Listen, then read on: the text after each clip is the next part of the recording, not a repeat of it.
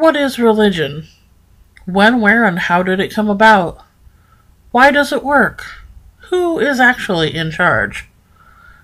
Defined honestly, religion is a personal set or institutionalized system of beliefs, attitudes, and practices designed to benefit and propose the superiority of the select group of people that practice those beliefs while ostracizing those who don't. A long time ago, there were certain men, scattered all across the globe, that were convinced of the superiority of themselves and their way of life. They were so obsessed that they went insane and heard voices and saw visions about their awesomeness.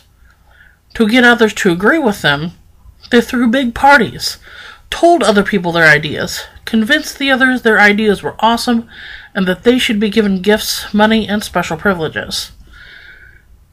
These ideas were written down, translated who knows how many different times, and read at other get togethers by believers in the Almighty's will who also collected gifts and money for the sake of the Almighty. Sure, other people were invited to these gatherings, as long as they agreed with the ideas from the book and worshipped the Almighty by giving their money and time to help spread the word.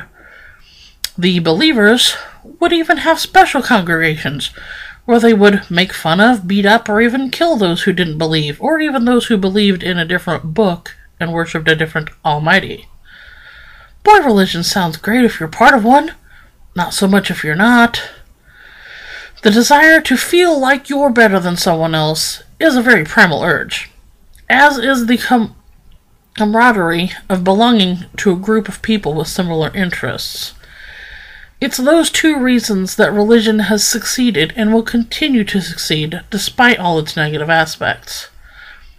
Even willingly restrained by the shackles of religion, the subconscious urge of man to be independent still has influence. If someone tells you the way they think something should be done, whether you're consciously aware of it or not, you will use what you know to try to improve upon that concept. So wouldn't it stand that if the will of the Almighty doesn't match someone's personal outlook, they could distort it to fit them better? especially if they were in a position of power and service to that Almighty? Then what if that someone took it a step further and wrote their beliefs down as the will of the Almighty? True story, bro. If you don't believe this has happened to every religious text, you must be one of those blind faith sheeple who has been convinced that thinking for yourself is evil, and I feel sorry for you. Not only have you given up control of your own life, but you've given it over to the ideals of our charlatan ancestors, whose goals were to exert their dominance over the weak in order to feel superior and turn a profit. It's a damn shame.